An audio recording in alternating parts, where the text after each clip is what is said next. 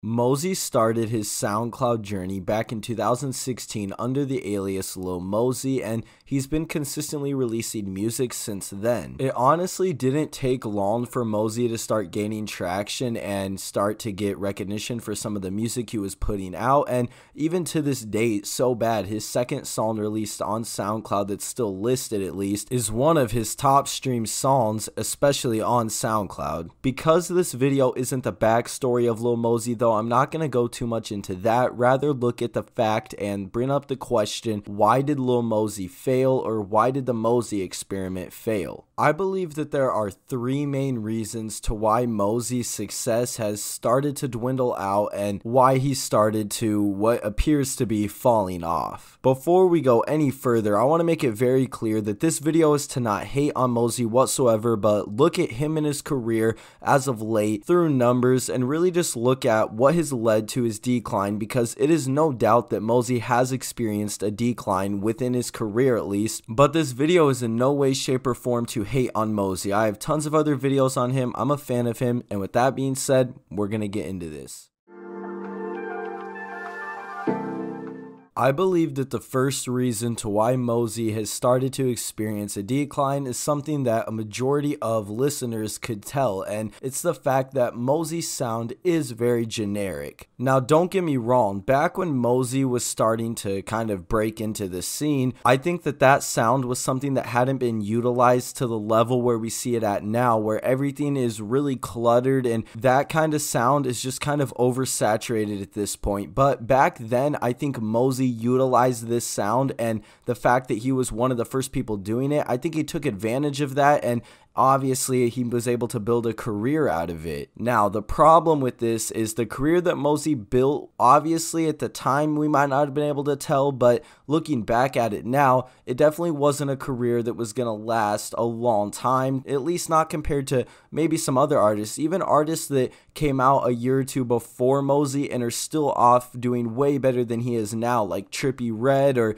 even Uzi and Carti. They came out in 2016, 2017, and they're still doing very well number wise, or at least way better than an artist like Mosey in his situation. I personally believe that the best way for Mosey to kind of get out of where he is right now is a couple things. One, I think he definitely needs to have more emotion in his tracks if he's going to stick with the melodic type sound because obviously it's not really doing it anymore to have the just melodic sound with no really emotional attachment to the music. That doesn't really get you a long lasting career. Where we have seen past examples of artists like Juice that went down the melodic route and was able to capture your emotion with it. And I think that's why so many people built such a strong kind of connection to Juice's music. We saw this with X as well. And I don't think Mosey would be able to do something like that, but I definitely think it would be a good start and leaning in the right direction to at least get away from where he is now by just making the one to two minute song that once you hear, you don't really go back to, or you just kind of put it on as background music or background noise. And honestly, that's probably where I kind of think Mosey has always been at. Not the fact that he hasn't had hits because he has. He has tons of plaques. He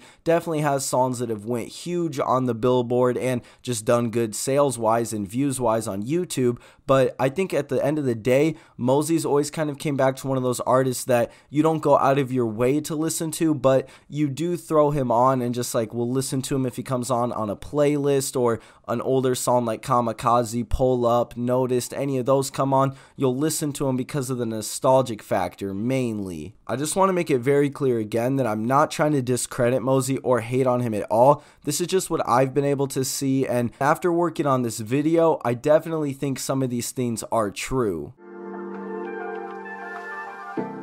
The stigma of being a TikTok rapper really hit Mosey hard. This is pretty evident in quite a few different things. I would say one of the first things that brought this to my attention was the behind the scenes of the Blueberry Faygo video when Cole discusses the fact that he didn't want to go too crazy with tying Mosey together with the whole TikTok rapper type scenario. Use this place, but I don't know if I want to use the TikTokers in it because I didn't want to because I'm always conscious when I'm working with an artist of their image as well. And I didn't know if that's where Mosey should be tied into. Like, I didn't want him to become like a TikTok rapper. I didn't know if that was best for him. So I was like, let's use the house and hint, you know, pieces of, of this whole culture and everything going on. But, uh, let's not take it too far. Like that that's where my mind was at with it. Cole obviously explains that he didn't know what they should fully do with it and the label was the one that pushed to have more TikTok influence on the track which kind of had a domino effect on the rest of Mosey's career. The second example I want to give of this is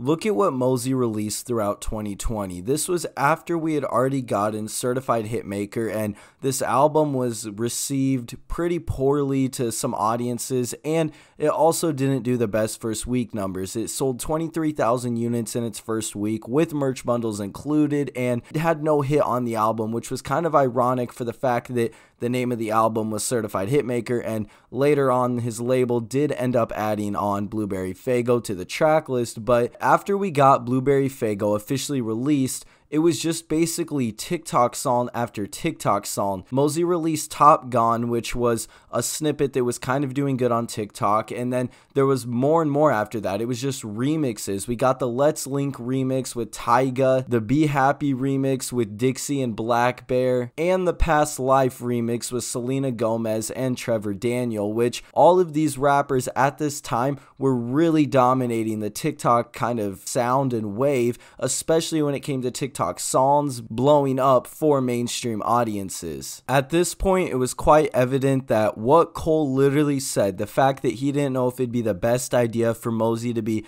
too tied to the whole TikTok scene or TikTok rapper scene, it literally became true. Whether it was from Mosey himself wanting to do it, which you can't blame him because it was a strategy that was working, but for a long term strategy, this added nothing to him. I guess at the end of the day, it did kind of boost his career to another length that some people did not think he would get after Noticed, because before Blueberry Faygo, Noticed was Mosey's biggest track, and the leak from Blueberry Faygo and TikTok both helped this song get over a billion streams on Spotify alone, which is insane considering Noticed, which was his biggest hit a couple years prior, had only had 500 million streams on the platform. I personally believe that Mosey falling into this TikTok kind of just scene did not help him really whatsoever long term. Yes, it did boost him back to the top and give him at least another chance to have some clout and to really just capitalize off of what he had already done previously. But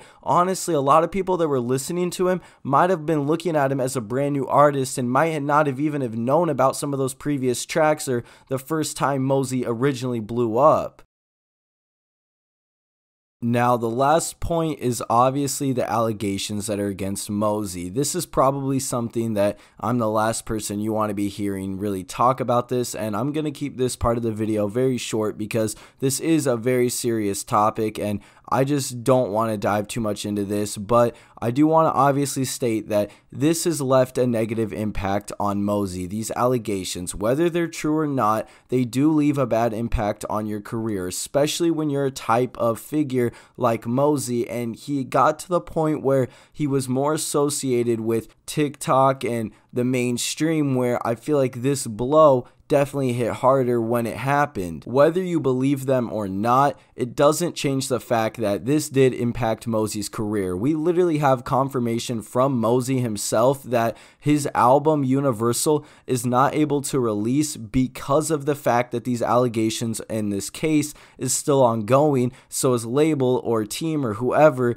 is not letting him release until this gets cleared up. To sum this video up, I think it's evident that Mosey just wasn't able to transform his sound, his image, and even his brand to have a more long term type career. It does suck when you see an artist that was at the top start to fall down, especially when they weren't doing clout chasey things all the time to stay relevant. Honestly, Mosey had the type of sound that I would have thought he wouldn't really be able to blow up with it, but because of the timing and everything that happened, it all worked out so well for him at the beginning. But obviously it's all since started to kind of fall apart. I just want to end this video on the note that I'm not saying whatsoever Mosey will never have a hit again. I think that TikTok and just everything we have now nowadays is proof that at any point you can have another hit. So I definitely wouldn't put it past Mosey to be able to do it. He's obviously done it again since the last time people considered him falling off, but we'll really just have to wait and see what's in store and what the plan is for Mosey.